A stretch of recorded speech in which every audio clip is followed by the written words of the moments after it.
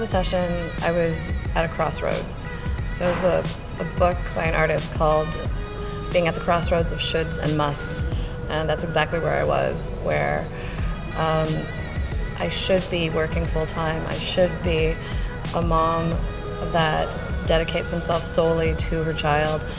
But I had a feeling of I must be doing something else. So coming into the session, I had just quit my job. I had just woken up, quit my job, and decided that I was going to follow a passion or a drive. And I couldn't really pinpoint exactly what that was yet, or what what that vision was yet for that drive. The vision that I wanted to create for myself. So I had always seen myself um, speaking and kind of breaking the rules of marketing a little bit. Um, I've always been very passionate about the topics that I speak of, and kind of from an early age, very curious about why advertising works and why why people react the way they do to certain things.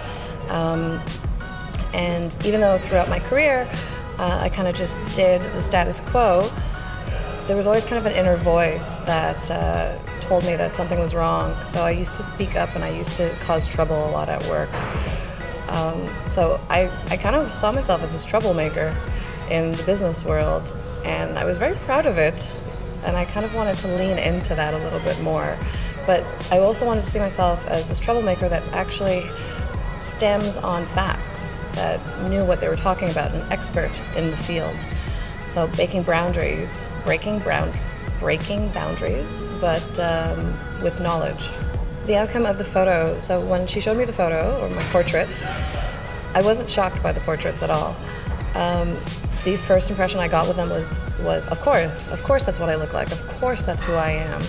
I am that that sexy, confident businesswoman that doesn't look like a classic business person, but kind of is a little bit of a rebel and knows what she's talking about. Um, so it wasn't, it, it, didn't take me back, it didn't shock me, it wasn't something that I wasn't unaware of, but it, it was as if the portrait itself kind of gave me permission to be brave and gave me permission to have the confidence to continue moving forward, uh, almost in a in a more radical way. After the session, it kind of all fell into place where I had a vision, I knew where it was going, I knew what type of person I wanted to become, and then I just knew these were the steps that I needed to take to move forward. And as I would take them, it, it's as if they were coming to life. Like people would react to me when I spoke and when I did things, uh, and they would use words like empowering and inspiring, and they would take action based on what I would say, which always shocked me that they would go and move the, uh, their whole company's thinking based on a two hour meeting with me. So I think what it did was created a clarity of and a confidence that I can move forward in these paths and that these steps were exactly the steps that I needed to take to continue being this person. When she took the portraits, while we were in the studio, we were having a conversation, obviously, um, and she would trigger me into talking about what, how I see myself and what I'm going to be doing in the future. And as she's talking to me, I can almost picture myself either on stage or in a boardroom or in a classroom teaching these things. And then she would snap the picture and catch me in that moment as I'm speaking and envisioning myself. And I am that person. It's not that I've become that person, I am that person.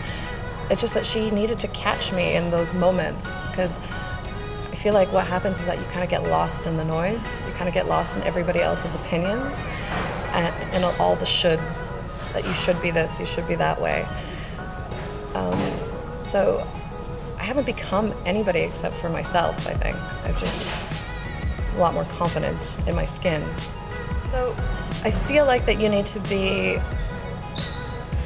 searching or in the process of searching or in the process of transition in your life that you're aware that you need to make a change, that you know that there's a change, but you kind of feel a little bit um, lost or not in touch with yourself. And I think that's a lot of people are feeling that way where everybody's telling you again what you should be, who you should be in this life. And I think what these portraits do is allow you to see yourself, kind of puts you in front of yourself. And once you see yourself, I think you have to you have to acknowledge that and you have to move in a way that allows that person to come to life and to flourish as much as you can. So I believe that anybody who feels a little bit lost, that knows that there's a stage that they're going through and kind of needs that, that reinforcement, that picture that says that everything's going to be okay, that this is who you are.